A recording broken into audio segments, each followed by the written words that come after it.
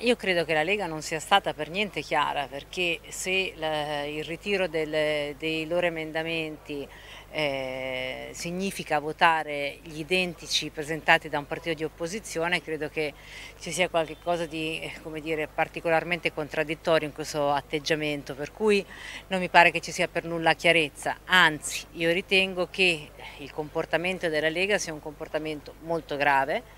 che mina una delle misure più importanti del governo, tant'è che probabilmente domani o nei prossimi giorni comunque ci sarà un Consiglio dei Ministri in cui si estenderà il Green Pass,